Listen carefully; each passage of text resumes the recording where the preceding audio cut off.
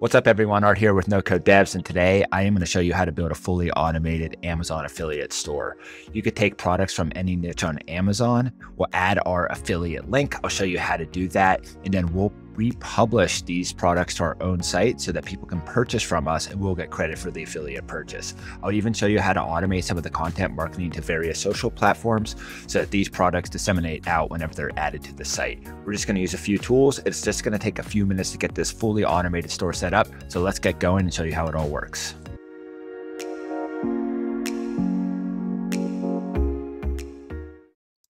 Okay, so let's go ahead and get started. Just as a refresher, what we're going to build today is a fully automated Amazon affiliate store that scrapes Amazon for a product of our choosing or a category of our choosing we're going to sync that data to Google Sheets and then Airtable. We're going to modify it a bit so that we add our affiliate links and make any changes that we want to, like shortening the titles of the products because some of them are quite long. To sync the scraped and edited data all to a front end. So this is uh, this is super cool. This could be used for any sort of niche product on Amazon. It requires no technical knowledge, maybe just a small formula in Airtable and everything will be fully automated for you. We're going to even show you how to sync that out to a social network. In this case, we're going to use Pinterest. So let's go ahead and get started.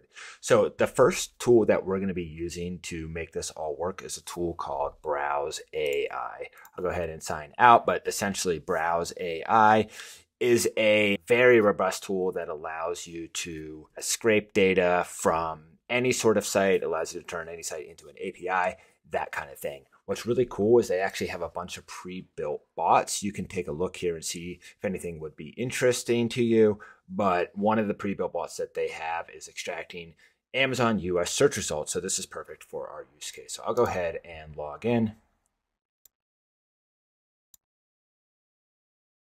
Okay, let this log in here. And I've done a lot of this, but I'll walk you through how I did everything.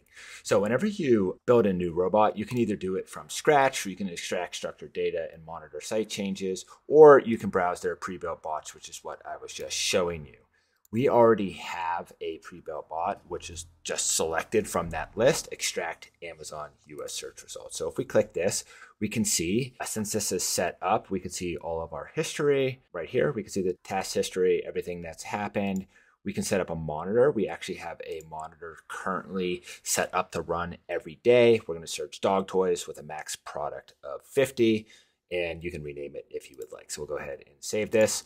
And then there's all kinds of different integrations. You can integrate with Zapier, uh, Airtables in beta. Google Sheets is what we chose. The reason that we chose this is because it's the most built out integration, and then we can take the data from Google Sheets and send it right to Airtable because Airtable is going to be our ultimate database for this project. And then there's some settings here. You can adjust some settings if you would like. We're just going to keep everything default here. Right now, this is running every single day. It'll search the keyword dog toys with a max products of 50. I wanted to keep it at 50 because there's a ton of products on Amazon and I don't want to use all of my tasks from Browse AI, but you could set this up to be 10 or 200, whatever you would like. I would recommend going out to a Ahrefs and doing some searching to see what kind of results you get and what kind of traffic there is for your products before choosing your product that can be really helpful when you build your affiliate store so this is step one is using browse ai to search and find amazon products it's literally plug and play you just put in your search keyword there's really nothing else that you have to do if we take a look at the history here we could take a look and see this is the type of data that we get back, which is super cool. We get the title, we get the product link, we get the product image, we get the price, we get the number of views, the rating, and whether it's sponsored or not. So this is everything that we need to get going. Now, when you choose integrate and Google Sheets. It's a one click setup. I've already done this, but when you click it, you simply just log in with your Google account. You choose if you want to use a news sheet or an existing sheet, I chose new sheet because we hadn't had this set up and actually browse AI will completely configure the new sheet with headers for you. And I'll show you what that looks like. Okay, so this is our Google Sheet. Again, Browse AI just set this up for us. All we had to do was authenticate into our Google account.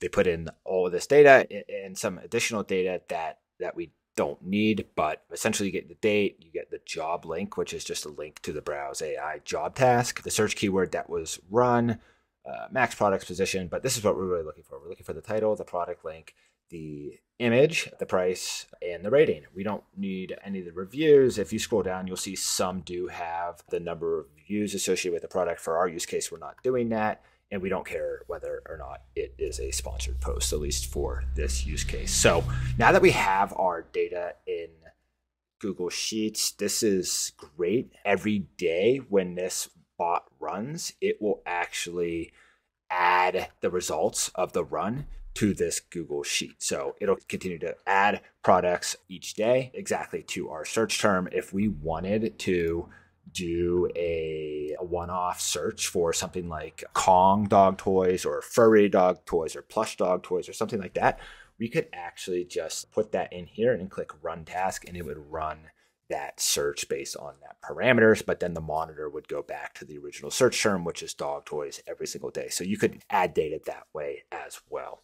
So now that we have the data in Google Sheets, I'm going to talk about the next steps. So we're going to use a product called Softr. Softr is a front end website builder that uses Airtable as a backend. So Softr very nicely makes it super simple to pull in data from an Airtable base and create a website for it. So that's what we're going to do.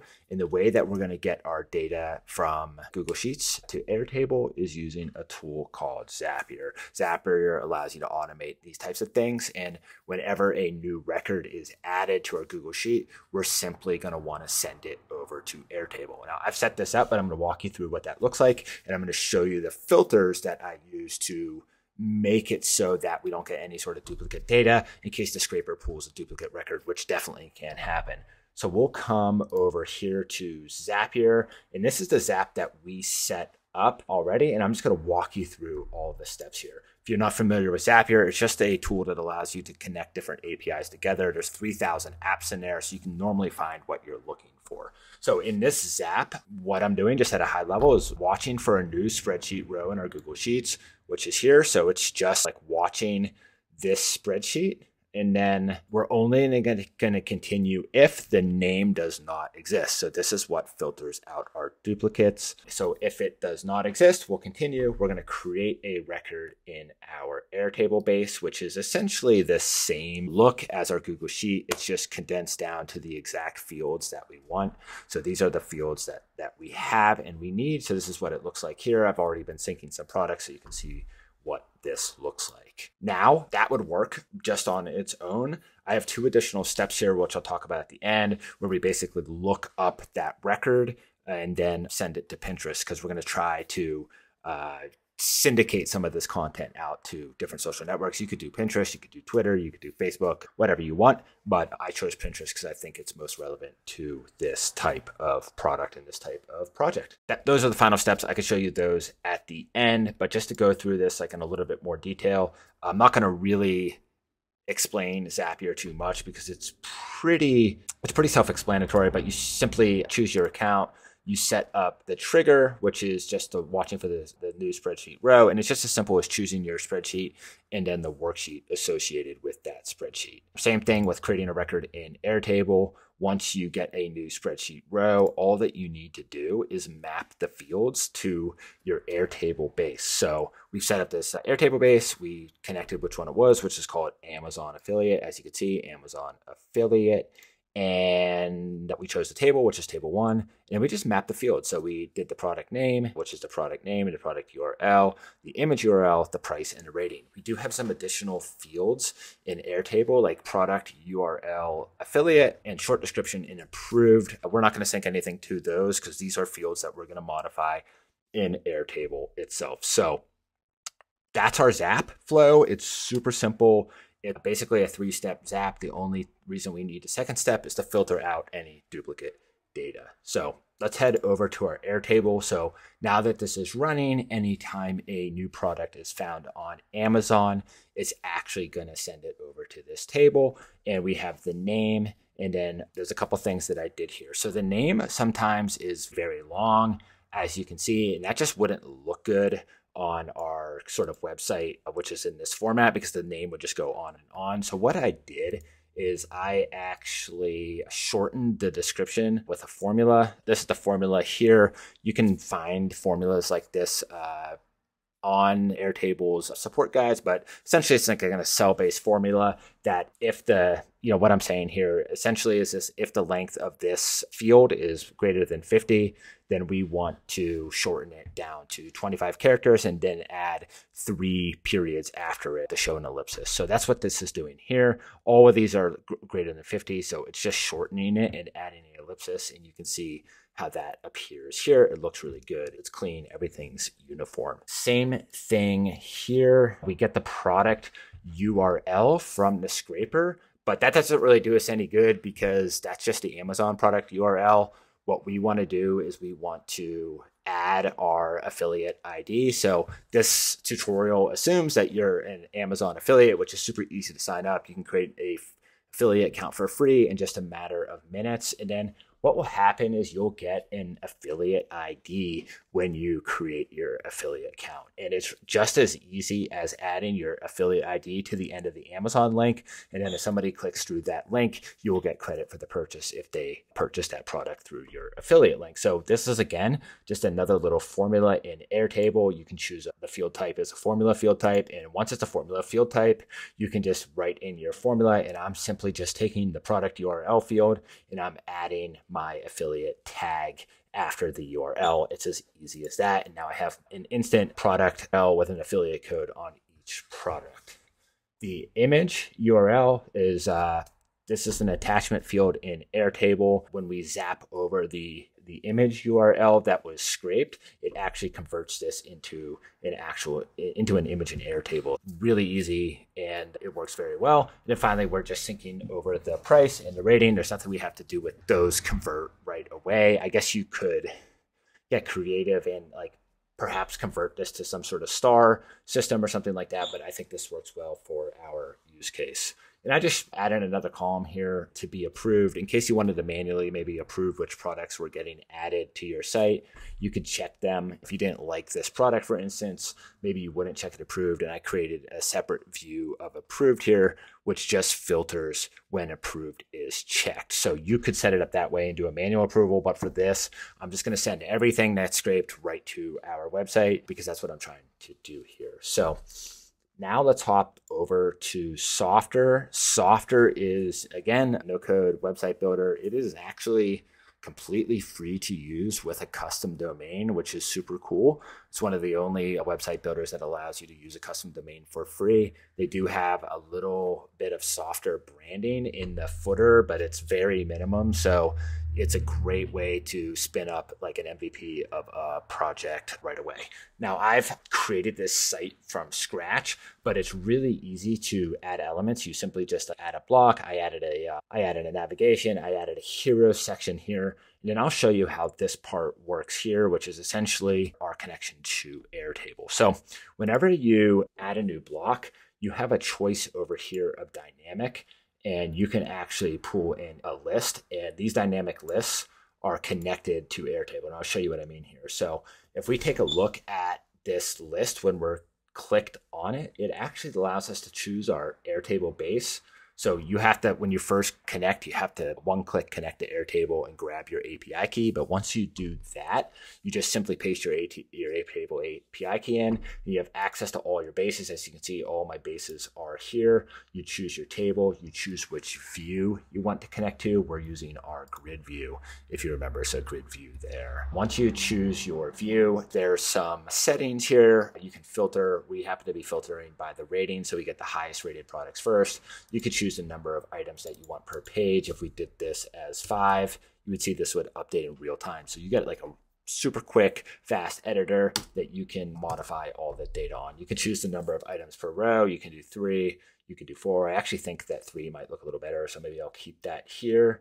Um, and then there's some additional settings. Inline filters. So we have a filter here by rating. Basically, if you expand this, you can choose which field in your uh, Airtable base you want to allow the users to filter by, and then you can just choose which items they can filter by. You can choose if it's like a what's at the top, it's at the right here, which doesn't look as good, which is why I chose the top. You could choose a list or a drop down, allow multi select, all kinds of different things. You can add additional filters. You can allow users to multi select things. So ton of features here. You can add search functionality. You can even change the helper text. So we're seeing that people search by ball, stuffed, or squeaky. And then they can filter by rating. These item fields are what the data is connected to. So if we hover over this and click it, this is the image field and we're just mapping this to the image URL. So all you're doing here is mapping your fields to the to the fields in the Airtable base. So Right now, we have the fields mapped. We have the image as the image URL, the short description as the short description, which is our description that we shortened down.